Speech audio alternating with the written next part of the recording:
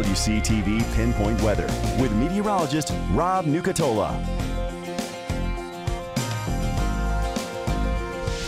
Well, good morning, everybody. Happy Monday. 24 hour temperature cast shows those numbers starting near 70, a little bit on the warm side for now early October, and likely perking up into the mid 80s this afternoon. I think it's going to stay pretty warm again tonight, and it's going to be a little bit more muggy throughout the day and maybe throughout most of this week. There are some showers out to the west. We'll see if any of those can hold together and move this way today. I think some can, but better chances for more of us to get wet and maybe a nice little round of showers and thunderstorms possible tomorrow, maybe right around the middle of the day. We'll see how that window changes.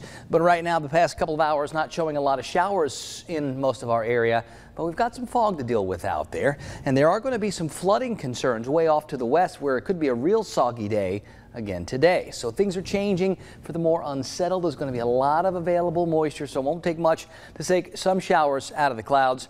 So we need to be ready for that over the next several days. It's 68 degrees right now in Thomasville, 69 in Valdosta. We're at 70 in Tallahassee.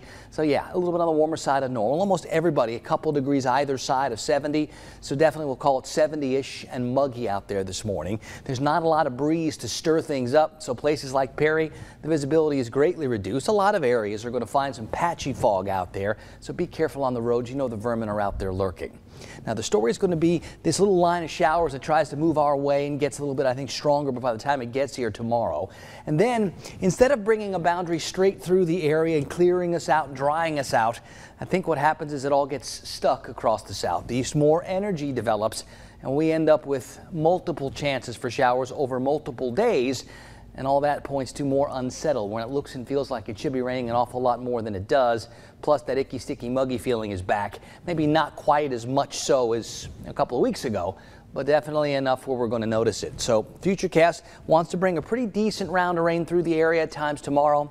I think I see another one on tap for us on Wednesday. And then maybe on the other side of that, we can finally start to dry things out.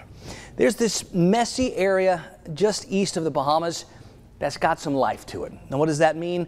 Not a whole lot right now. There's not a lot of organization. I don't expect it to really quickly develop into anything, but certainly when you do have something like this, there is the potential that it can turn into something, and that's a little close to a lot of land areas, so we'll certainly keep our eyes on it.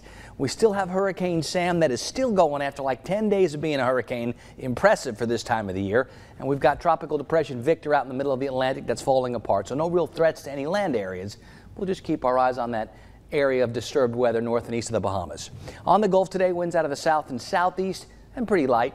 We'll have some of those showers at times. I think the story is going to be about more humidity. Low tides first up this morning, starting a little after 7. Going to be muggy. The sun comes up at 7:33. 60s and 70s likely top out in the lower and mid 80s, depending on who's getting showers and who's not.